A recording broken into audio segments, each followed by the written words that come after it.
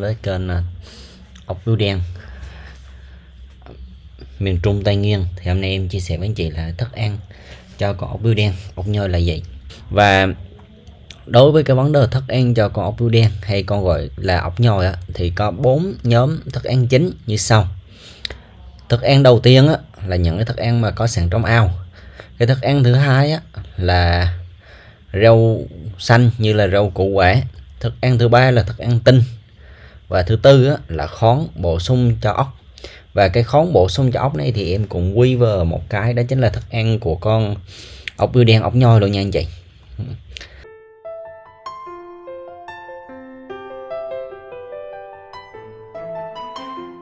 Thì đầu tiên đó chính là thức ăn có sẵn trong ao cho con ốc bươu đen ốc nhoi là gì? Thì đó là những cây cây thủy sinh ốc có thể ăn được khi mà ốc đã ăn hết những thức ăn mà anh chị cho ăn hàng ngày các loại cây thủy sinh như là rong đuôi trồn này bèo cái nè bèo tải tượng nè bông súng này bèo cám nè. Và trước khi thả nuôi á, thì các anh chị cần phát triển ít nhất là 60 cho đến 70 phần trăm bờ mặt ao là bèo tây tượng. Và thả 100 phần trăm là bèo cám. Và bên cạnh đó trồng nhiều ở tầng đấy là rong đuôi trồn hoặc là bông súng.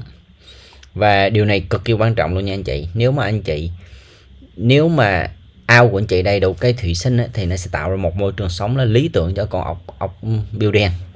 Và cây thủy sinh ngồi là thức ăn cho con ốc biêu đen ốc nhoi thì nó còn giúp cải thiện được cái nguồn nước che nắng che mưa cho ốc. Tuy nhiên việc trồng cây thủy sinh làm thức ăn cho con ốc biêu đen như bèo cái, rong riêu, bèo cám thì ốc không thể nào nhanh lớn và phát triển đều được. Nó chỉ giúp ốc phát triển đến một cái mức độ nhất định. Đến khi ốc mà lớn bằng ngón tay á thì à, anh chỉ biết là ốc lớn bằng ngón tay thì nó có thể ăn sạch sẽ tất cả những cái thủy sinh như là bèo cám rong rươi đó. Nên anh chị cần làm ao riêng để nuôi cây thủy sinh cung cấp hàng ngày. À, bèo cám á, thì có một số nơi gọi là bèo tắm. Bèo cám là thức ăn có hàm lượng dinh dưỡng rất cao. Và muốn ốc nhanh lớn thì các anh chị cần phải cho ăn bèo cám hàng ngày. À, khi nuôi ốc tốt nhất là nuôi một ao bèo cám riêng cho con ốc bươu đen ốc nhồi. Nếu mà thả trực tiếp vào ao ốc thì ăn còn tầm 3 đến 4 ngày là nó, nó sạch anh chị. Đây. Em ví dụ như đây là một cái ao à, nuôi bèo cám. Ví dụ như nhiều chỗ là người ta nuôi tới cả mấy ngàn mét vuông ốc á, thì người ta có thể danh ra vài trăm mét thậm chí cả ngàn mét vuông để người ta nuôi bèo cám đỡ đỡ cho ốc nó ăn hàng ngày. Đó. đây. Em có đỡ link bên dưới là cách nuôi bèo cám thì các anh chị có thể tham khảo thêm cái tiếp theo là thức ăn xanh cho con ốc, ốc bươu đen ốc nhoi ăn hàng ngày. Thì thức ăn xanh này là các loại rau củ quả lá cây các loại. Ví dụ như anh chị có thể cho ăn là lá thu đủ nè lá sắn nè lá mướp nè lá bầu lá bí nè rau lan nè lá xà lách nè rau muống thau dầu nè và các loại lá mềm. Không độc ốc nhoi gần như đều ăn. Ví dụ như các anh chị đi ra bên ngoài mà các anh chị thấy loại lá nào mà nó không có độc á thì ốc nhoi nó đều ăn trừ những loại lá mà nằm mang tính chất xương ví dụ như lá chuối thì là xương xương xương xương như vậy nó khó ăn. Nhưng mà những cái lá mềm như ví dụ như chẳng hạn như lá môn này hay là lá thu đủ hay là lá mông tơi á, những cái dạng lá mềm như vậy anh chị liền xuống là ốc nó ăn gần như sạch bách á. Ừ. ví dụ ngồi ra là là là cây môn các loại các ốc có thể ăn là là từ củ nè thân lá nè. Nếu mà cho ốc ăn thì có thể lát nhỏ ra rồi đem ủ men tiêu hóa hai ba ngày thì ốc rất thích ăn. Ví dụ cây môn thì các anh chị sắc ra giống như nâu heo sắc mỏng mỏng ra. À, nếu mà không biết ủ thì các anh chị có thể sắc ra rồi các anh chị đem phơi đi cho nó dụ dụ dụ lại. Rồi các anh chị liền xuống ao thì nó vẫn ăn. À. ví dụ trái cây thì rất nhiều loại trái cây như bầu bí mướp bí đỏ sôi mận mít.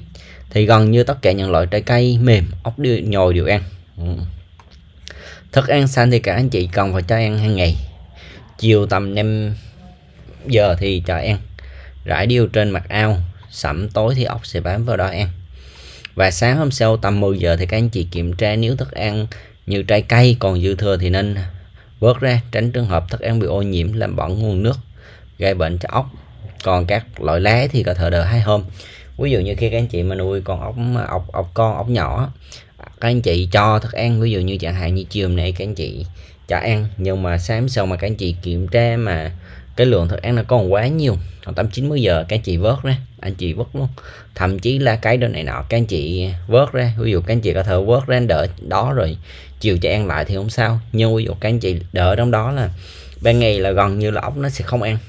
Nên nên nên nó sẽ gây ra tình trạng thức ăn nó đã bị ô nhiễm nguồn nước và khi mà ô nhiễm nguồn nước nó sẽ có những cái vi sinh vật phát triển gây hại và nó sẽ làm cho con ốc ốc bị bệnh.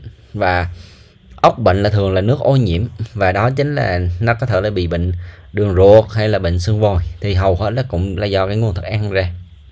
Đó.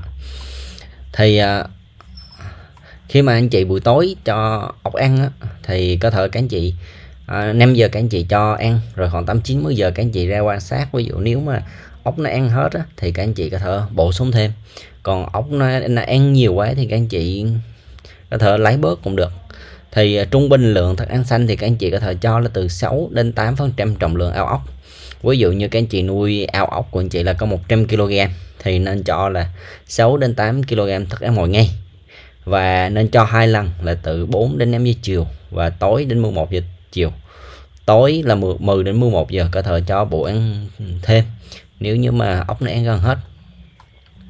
Thì à, lưu ý là đối với con ốc con thì không nên cho các loại trái cây chín, ngọt như xoài mít. Do họ tiêu hóa của ốc kém nên dở chết. Tốt nhất là cho ăn lá hoặc là các loại quả không ngọt. Cần đảm bảo nguồn nước, dưỡng ốc luôn sạch sẽ, không nhiễm bẩn. Ví dụ như con ốc mà các anh chị mới mua khoảng tầm hai ba tuần tuổi thì đó, một, hai, ba tuần tuổi đó thì các anh chị, tốt nhất nên cho ăn bào cám. Còn ví dụ như chị cho ăn mướp bầu bí gì đó thì tối các anh chị cho ăn sáng 8 9 giờ các anh chị vớt vớt. Rồi các anh chị kiểm tra nguồn nước nếu mà nó bị bẩn hay là có mùi anh chị thay ngay lập tức. Ví dụ như mà nếu mà ốc con mà anh chị nuôi trong một cái mật độ nó quá dễ vậy mà nước nó bẩn một cái là ốc ốc nó sẽ chết. Và khi nó chết á, bắt đầu nó thúi ra, xong nó ô nhiễm như một cái cái bờ như vậy, nó sẽ nó sẽ chết hàng lọt đó. đây nè anh chị, đây đây cho ốc nè ốc nó lên cho mít nó ăn ốc dày hết. Tiếp theo là thức ăn tinh.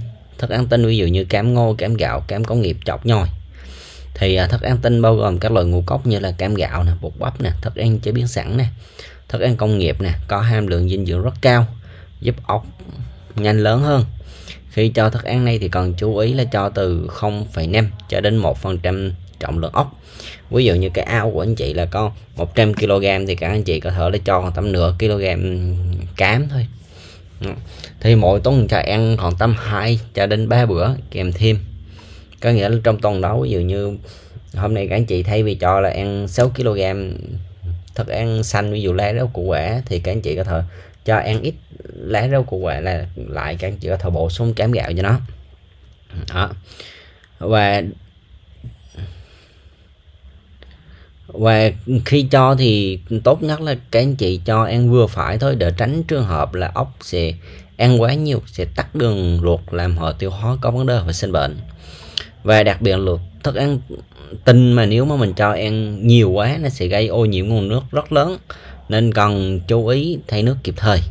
À, vì vậy nên ví dụ như chẳng hạn các anh chị ao của anh chị nhỏ thì tốt nhất không nên cho thức ăn tinh nhiều.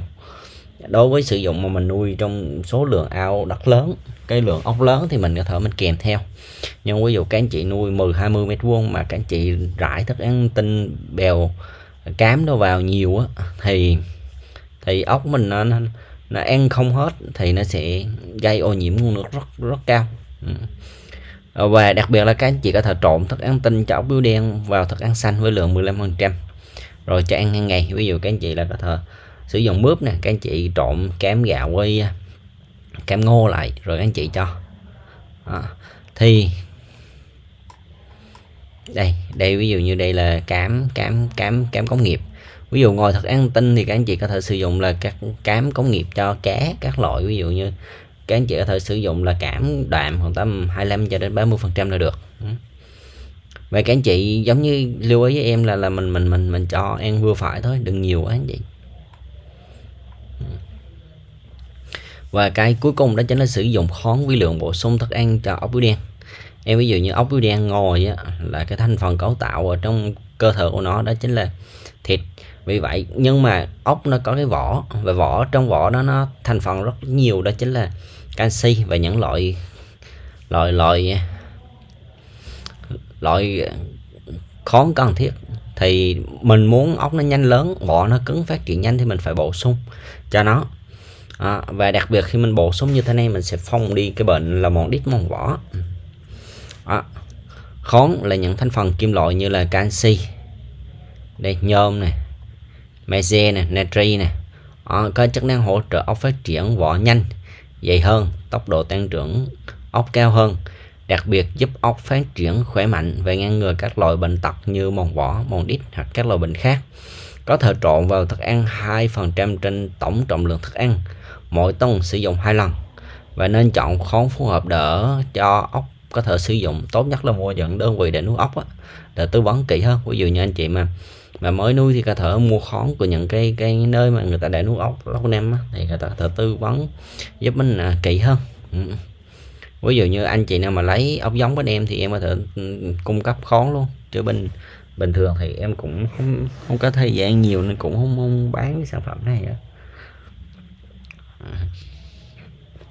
đặc biệt là khi ốc trưởng thanh thì còn một lượng khoáng vi lượng rất lớn nên việc bổ sung sẽ giúp ốc phát triển chất lượng vỏ nhanh phòng bệnh mòn đít mòn vỏ trên ốc bươu đen ốc nhồi à, thì đó chính là bốn loại thức ăn chính thì các anh chị cần phải bổ sung và cung cấp đầy đủ định kỳ hàng tuần. Việc không bổ sung khoáng vào thức ăn thì ốc nhoi sẽ chậm lớn và phát triển eo uột ví dụ nếu mà khi cho ăn chỉ là cây thủy sinh và thức ăn xanh thì ốc bưu đen sẽ chậm lớn hơn. So với bổ sung thêm nhiều thức ăn khác, ví dụ rất nhiều anh chị, hỏi em sao nuôi ốc biêu không lớn, ví dụ như nhiều anh chị cứ liền số đó rồi cứ cho ăn bèo cái bèo cái này nọ, nó chỉ là, hay là rau củ quả, thì nó không có đủ dưỡng chất cho nó thì con ốc nó nó cũng khá là chậm lớn và nó phát triển khá là eo ọt.